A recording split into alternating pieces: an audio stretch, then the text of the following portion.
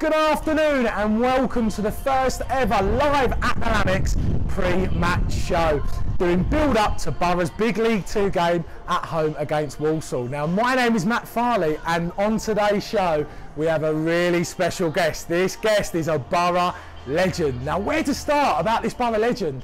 This Borough legend has 502 appearances, making him the record appearance holder at the football club. He was also heavily involved in the most successful team in the history of the football club, winning back-to-back promotions from the Conference to League One. He also has two FA Trophy winners' medals to his name and was the first captain to lift a competitive trophy at the new Wembley Stadium. He's also had a testimonial rewarded to him at the football club and since moving on from the football club has been an integral part of the academy and is currently at Billericay Town FC. You've probably guessed who it is by now. A massive welcome to Borough legend Ronnie Henry. Ronnie, welcome mate. Thanks for thanks for having me here. Um, really good introduction there, and it's. Um, I was just saying to you off air just now, it looks a lovely day for football here. I'm looking forward to it. Yeah, it's really good to have you here, mate. And we've got to ask, of course, how has it been back at the Lamex, mate? Because you must have so many amazing memories here. Oh, it's, it's outstanding. I, I, love this place, as you know. I mean, I, have been here for a long, long time. Um, it's unfortunate, obviously, that a lot of the fans are at home at the moment watching this, but um, hopefully we'll uh, be back here soon to watch to watch your team and push them up the league. Um, it's a fantastic time for me to be here. Like I said, I mean, I'm normally with the 18s on the weekend. But they have no game today, and um, as it's unfortunate that my season at Billericay's been um, been cancelled, so to come along into here today has been been special, yeah. Yeah, great stuff, Ronnie. Now, obviously, the team this season, we're currently 21st place with 32 points. It's been a crazy season on and off the pitch. How do you think the team are doing this season? Listen, it's been it's been tough, hasn't it? Uh, without a doubt, it was a it was a quite a poor start. I'm sure I'm sure Revs will Revs will be honest about that. But it's it's fantastic that the football club really have stuck stuck with him because managers these days they don't really get time, and and he's he's turning it around to be honest with you. And so are the lads. Um, if they can keep going the way they are, I'm sure they're going to move up the league. Yeah, it's really good stuff. Now, obviously, recently we've had some cracking away form, winning a few away games. What are you expecting from the team today in the big game? Well, I'm, I'm looking forward to it. They're, they're, they're confident. I've watched the last the last games on on the iFollow and, and some fantastic results. We don't really concede too many goals. Mm. Um, we're starting to score some goals as well. So I'm, I'm looking forward to it. I'm expecting a win today, to be honest with you, mm, yeah. after the recent form. Yeah. And lastly, Alex Revell, you know Revs very well, a friend, a colleague at the football club. Again, he's had an absolute crazy year on and off the pitch with everything that's going on. How well has he done as manager in his first year? Rev's a good friend of mine. I mean, I think it was a, a year in charge the other week, wasn't it? Yeah, I, I, yeah. I, saw, and um, he's had a he's had a, a, year a year to remember. To be honest with you, it's been really tough for him to come in as a manager at this this football club and any any place with the situation that's going on outside at the moment. He's doing really well. Um, with, with the management staff that he's got and, and, and the players he's got, the players he's brought in uh, in the window, they seem to be gelling really well, and uh, it looks like looks like they're finally getting to where they should be. Yeah, really good to hear, Ronnie. Now, we've just been speaking about Alex Revell. On Tuesday, it was his first year anniversary in management with the football club, and he celebrated with a massive 1 0 win away at Crawley. What a way to go. Now, Alfie Dinsey was fortunate enough to get a few minutes with Alex Revell earlier today to talk about the one year in management and also today's big game. Alex Revell, thank you for joining me. Just over a year in charge. How do you reflect on your time as manager of Stevenage Football Club? Uh, it's been uh, turbulent at times. I think that um, you know I've, I've, enjoyed it. I think that taking over when I did was was, was difficult. Um, you know we had a it was a real difficult time last season, um, and we tried to obviously put into place some of the things that I really felt were, were important in terms of the group, but um, ultimately in the two games that we had, we we, we it was it, we struggled at times. So obviously then obviously the pandemic hit us, um, and obviously the uncertainty throughout the summer was was, was really tough. Uh, as a first time manager, having to organise, you know, furlough, organising, um, you know, Zoom classes and Zoom to keep the players going because of obviously not knowing what was going on. So and obviously in the summer having to release the players that we had to was was was was a big decision but it was one that we needed to do so that was probably my biggest kind of challenge really was was that but I felt like I always knew where we wanted to go uh, within the group and, and having the right characters and the right players in, in the building was always going to be really important. So, um, you know, throughout the summer it was it was tough, but obviously when we got given the news, it was it was a it was real really exciting, and um, we always knew that the recruitment in the summer was was for for both. Um, and probably as a as a manager, I didn't realise the the level in terms of consistency. You know, those players that we signed, they have to consistently perform, and that's not no fault of their own. It's just through you know the standards that are having set in football league. So, you know, we we we scraped around results at times, and we started the season really well, but you know just fell away slightly. But I've always felt we were close. Um, and then obviously now being able to recruit players that have experience and a coach that's had a real huge amount of experience has really helped me as a as a person as a manager learn and and obviously now we find ourselves in a in a much better place uh, for me still learn every day still learn off the people around me the players uh, the people above me um, so I'm learning every day but I've found it really exciting if you were to take it all the way back to when you retired then became um, coach at the, at the academy you wouldn't have expected this this turn of events in 18 months' time.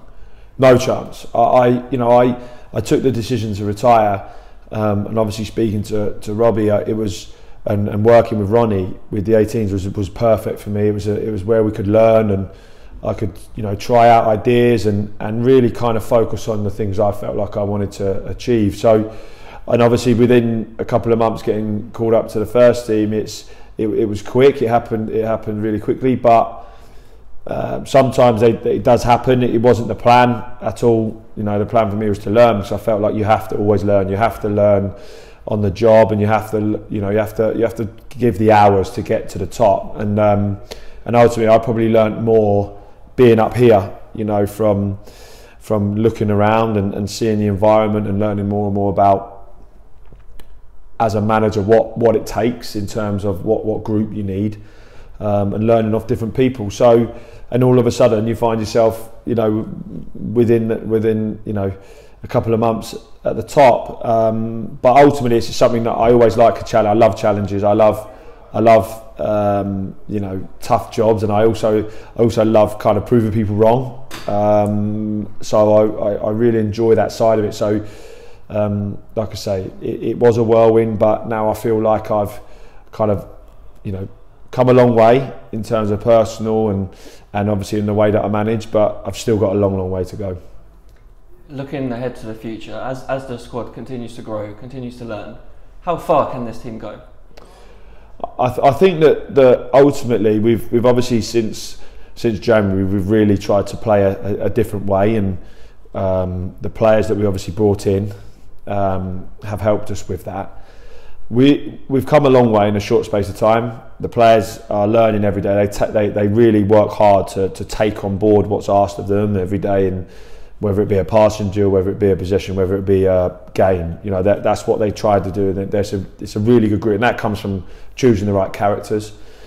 Um, I believe that obviously for us as a club, we've got to have you know real consistency with the players. We've got to have clarity on on the future for them, so that they know that they're here to grow with us as well. Um, you know, we've got the training ground. You know, everything here is, is is really already in place, and it's just about having a real clear plan and a group of players that grow. Um, and I believe we're, we're starting to get that now, um, and it's really exciting for me to be honest. You know, we know that this year is is critical you know, to, to make sure we carry on improving our results and, and, and win more games than we lose and make sure we get as high up as the table as we can. Um, but obviously we have to also keep one eye on, on, on the next year as well because, you know, ultimately we, we want to plan for the future and um, as long as we take care of the now, then hopefully we can do that.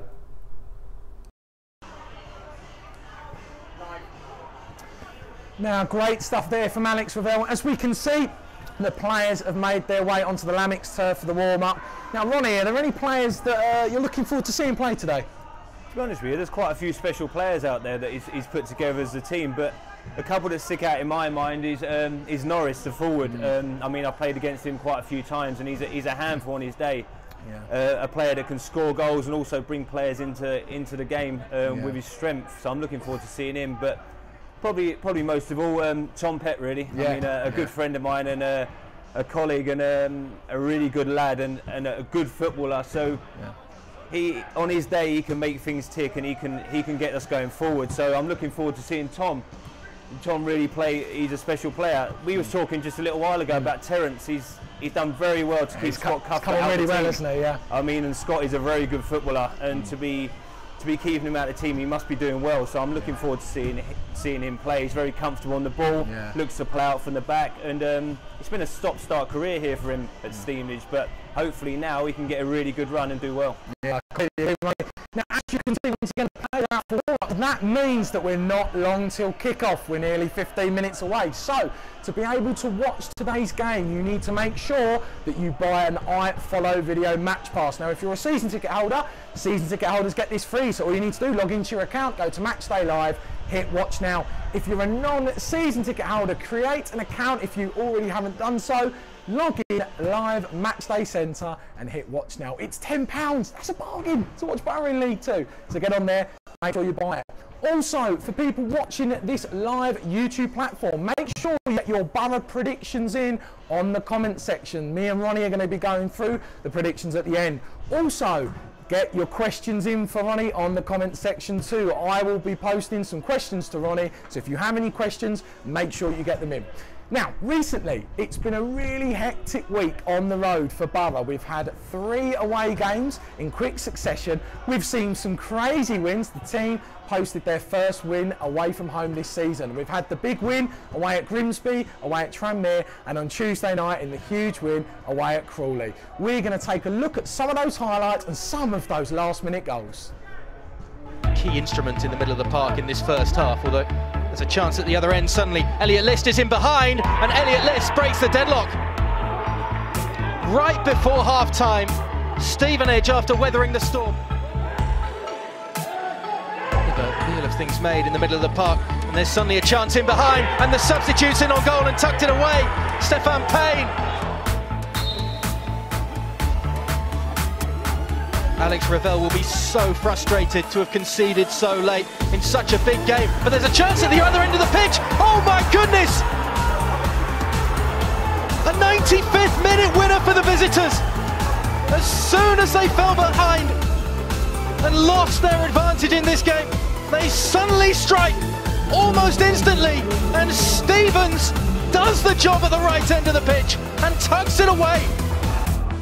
Norris, makes way. Real rush, Danny Newton. Gone in his place.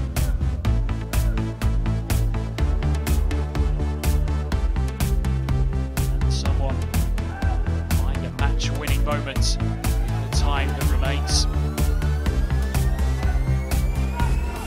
Newton, first involvement for him. It's still Newton! What an impact! on the pitch for a matter of seconds. And he may well have got Stevenage the most unlikely of wins. It was a bullet of a strike. Just look at that. Stevenage on the front foot again. List. Into the path now of Osborne. Head down. Elliot Osborne shapes onto his strong right back on his left, then on his right, and that is wonderful from Elliot Osborne. Is that the match winner at the People's Pension Stadium? What a strike! Plenty of red shirts in the box. Give and go on the edge. Is that a foul? Yes, it is, I think, and that is a penalty. Reed fouling. Maguire Drew inside the 80. And their man Tom Nichols for parity. It's Nichols who goes with power. And David Stockdale saves it. A big moment in West Sussex tonight. The former Brighton keeper goes up the road to maybe secure all three points for Stevenage tonight. Now, great to see some of those Borough away wins. My God, isn't it brilliant to see Borough start winning away from home, which is superb. Now, Ronnie, some really good goals there. Uh, what's your favourite goals out of those little montage? They're not just really good goals. I think they're really important goals. I mean, um, picking up a lot of points to move us up the league. Yeah. Um, I'm really pleased with the uh, the Elliot Osborne goal. Uh, because he deserves it because we've had him in the 23s um, recently and he's a really good lad and he works really hard so he deserved that goal and it was a, it was a touch of class he, he did mean that goal going on to the Danny Newton goal we was just talking about that just you now. know Newts really well didn't you I know Newts really well and um, I question whether he meant it but he, he definitely he definitely meant that one. It was a it was a great finish for him and um, a really big goal for him as well as the Stevens goal at Grimsby in the last minute with a tap in. But um, I'll have to go. The, the, the best one out the three for quality was Osborne, but my friend Newts, to be honest with you, with a volley, I- I'll give it to him. Yeah, and we were just saying, all in the last 10 minutes as well. So, you know, the team, you get that goal 10 minutes ago, which is so important. Well, that's, that's the case, isn't it? With you, with the team not really conceding many goals, so they always give them a ch- give themselves a chance in the last 10 minutes to get a goal, and you're always going to get chances in whatever league you're in in the last 10 minutes. Mm. Yeah. As long as the, the team can keep keep to a minimum goals the other end, Yeah. You're always going to win games. So, Yeah, it's completely agree, Ronnie. Now, we have got some predictions. I'm really quickly just going to read some out because you guys are going crazy on these predictions. So, Ronnie, we're going to go through some of these. So, Josh Cooper has gone for a 2 0 Bama win. Pett and Norris to score. How do you think about that? Pett and Norris on the score sheet today? It could, could well happen with the with the form, like I said, a 2 0 win, scoring a couple of goals and a clean sheet. Hopefully, we get a clean sheet here. We were just saying that Walsall haven't um, kept a clean sheet away from home this season, have they? So Yeah, yeah, could yeah. well happen. Yeah, really like that. Uh, we've got another prediction. Mark Nimmo has gone for 2 0 Borough. Mark, that is the positivity we want to see. Fantastic. Dave has also gone at 2 1 Borough. The brutal Way has gone at 2 1 Borough as well. And we've also got a prediction from Liam Sharp 2 1 Borough and John Todd 2 0 Borough. So, Ronnie, it does sound like it seems to be a common thing 2 0. 2 1, all, all, start, all seems to be coming together, doesn't it? Which is Well, nice. well, that's it. I mean, 2 1 will be a fantastic result. Personally, I'm going for 1 0 really. Norris. for 1-0? Going For 1 0 Norris, yeah. Um, I back that. uh, we'll, we'll take that all day. A win, a win anyway would be great, but uh, Yeah. I'm going 1 0. Yeah, I completely agree with you. Now, on to Scott Cuthbert. Now, the Borough unfortunately, has been out the last month due to injury. But great news Scotty made a return in the week where he came on in the last five minutes to push the team over the line with that huge 1 0 win at Crawley. Now, luckily, Alfie Dinsey has been able to grab a few minutes with Scott Cuthbert earlier today to talk about the team's running form and also how Scotty's been doing on the sidelines. Scott Cuthbert, nice to talk to you. Feels like it's been a while. Um, first of all, how are you feeling? Are you fit? Are you ready to go? Yeah, um, I just had an issue with my with my hamstring. That had a previous operation around about eight or nine years ago, and it's it's a little issue that just keeps popping up every now and then. So I've I've kind of been dealing with it for since about November. So it's been a little bit frustrating to be to be coming in and out the way I have been the last um, the last few weeks. But yeah, no, it's it's getting there. It's getting slowly but surely. It's it's getting there, and I'm, I'm happy to be to be back involved in the squads. Yeah, and being out on the sidelines, you, you've been watching the, the games on iFollow. How has that been from a almost watching it from a fan's point of view? Yeah, it's not the same. You know, even when you're, uh, you know, even when you're injured, I try my I try my best to travel to the games, even if they're home or away. Try and get myself on the bus or, or come to the home games and support the lads as, as best you can. So even just missing that, you know, due to the you know the protocols that are in place, I can't even go to the home games. So it's, it's frustrating, but um, you know, certainly. You know, there's lots of ups and downs in the games. You know, like we talk about the, the, the Grimsby game, equalising late on, and then you know, getting the getting the last minute goal. So there's been plenty of drama anyway to, to you know to keep us busy. How do you keep, cope with the nerves going into those those dying few minutes where all the action happens and you The um, what when I'm watching it, I just try not and re- refresh my phone, not look at my phone, not look at anything, just sit there. It's hard when I've got when I've got two kids running about my feet as well. I've got a five year old and a one year old running about wanting to play, and I've got one dressing up and the other one throwing his bottle about and doing all sorts and I'm trying to concentrate in the game. So it's a, it's an eventful 90 minutes, that's for sure. But now you said you're, you're back fit. How do you how do you look forward to the to the rest of the season? I think over, I think probably since December our form's been been superb. We've um, you know we've put in some fantastic performances and got some really big results for the for the football club. So it's an exciting period. I think there's 17, 18 games to go. Um, so yeah, really looking forward to it. Really looking forward to picking up more points and jumping up that table. You know, we've went from we've went from being maybe one game away from slipping into the bottom two to, to being one win away to going probably 12th. Um, that's how tight it is, and that's how well we've done in, in recent weeks. And it's just important for us now that we, you know we carry on that form and with the games coming as thick and as fast as they can Saturday, Tuesday, then it's a real opportunity for us to to jump up that table because we know we've got the quality in the squad to, to do that. From a player's point of view, and especially the club captain's point of view, what do you put that um, turn of form down to? I th- you know we've got a bit more belief now. I think the managers, the manager and the coaching staff have had a little bit of time to, you know, to put their ideas into into place. If you, you know, don't forget, it was a brand new squad in the summer. We came back, we didn't know what league we were going to be in, and people could say that, you know, can use that as an excuse, saying that we're using it as an excuse or whatnot. But that's that's the fact. You know, we, we didn't know what league we'd be in. Um, the, it's always going to take time for the new players to, to settle in. It's always going to take time for the, the manager and the coaches to get their messages across on how on how they want us to play. And you know, by the time November, December comes round, you, you'd be likely to see some some type of form on the on the pitch and us getting results, and that's exactly what's happened. So it's just taking a little bit of time for everyone to, to settle down and all the players to find their feet and be comfortable in the, the system and you know the day to day training and stuff. And it, you know, obviously, it's the, you know the results speak for themselves. It's it's working working well at the moment, and it's something that certainly the players want to to continue to go into this uh, run of games. And as I'm sure you're aware, the the gaffer passes one year anniversary of being in charge of the club. You've played with him, and now you've played under him. How what, how does that work going from a, from your teammate to now your manager? Yeah, he's my manager. You know, I have to respect the fact that, he's my manager. He's um, he calls the shots, he makes the decisions, and that's just that's just one of those things. When you become a man, become a manager, you need to, as a player, you need to understand that. I'm not the only one that's that's played that played with the gaffer as a teammate. There's a few lads here, so yeah, no, it's been it's been good. Um, he's brought in some some good coaching staff as well, and he's brought in a real good a real good spirit about the place as well this season. You know, you've got lads in here. I keep repeating. I feel like I'm repeating myself, but you know the lads in here they, they care about the football club. They care about results. They want to do well, and um, I think that shows on the pitch. Great to hear from Borough skipper Scott Cuthbert there. Now, Ronnie, you've been a captain at the club yourself, and obviously Scott Cuthbert is currently captain. How good is Scott as a captain and as a leader, and as someone that you know you're in the same position? Scott, you've been a captain before. How, how good is he? Very good, very good. I mean, just just now I was just having a laugh with Scotty going off. He's a he's a tremendous. That just shows everything about him. He's not in the he's not in the starting eleven today, and he's still. Um, getting the lads going on in, in the warm up. He's still having a laugh and he still really wants them to win. And I just said it's, it's, it's tough when you're not playing, but he seems to be in the right mindset. And when he's needed, like yeah. at, the, at Crawley, to come on and, and see the team through, he's, he does that. I mean, mm. it's a great honour to be a captain of any football club, especially this one. I was captain for many years, mm.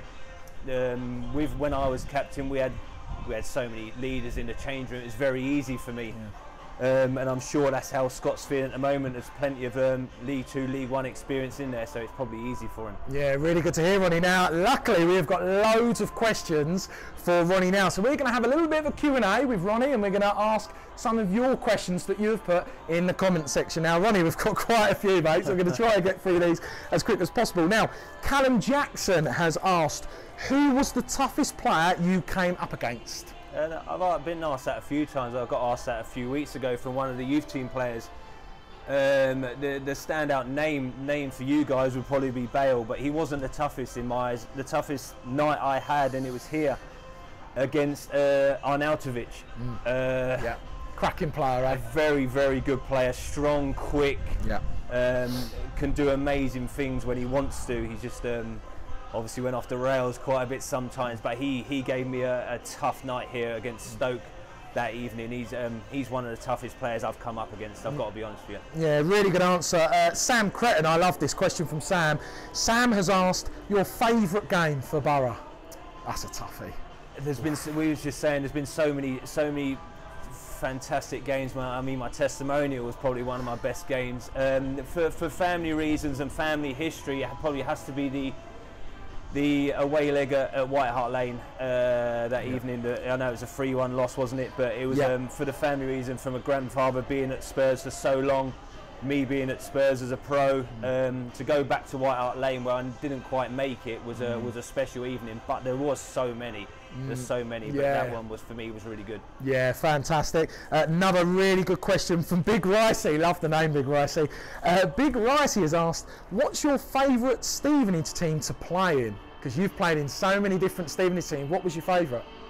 What one to eleven, or you are you asking me the, the, the team the, the, the team that was, was most successful? Really, the ones. Yeah. I mean, uh, the, you all know the play when we had players like myself, Roberts, Laird, Bostwick, Ashton, Daisy, Mousinho, Beardsley, even players like Stacy Long that didn't play all the games. They were so good. Darius. Yeah, They're, yeah. they're, they're, them, you, you knew week in week out you was going to go out, and even if we did lo- did lose the game, the, the other team knew they was in.